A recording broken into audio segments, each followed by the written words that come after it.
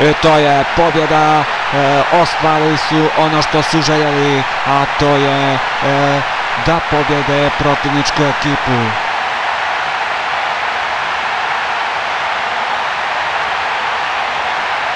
Poštovani gledalci, to bi bilo sve za večeras.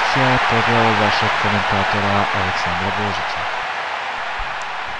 E, poštovani gledalci, e, to bi bilo sve za danas.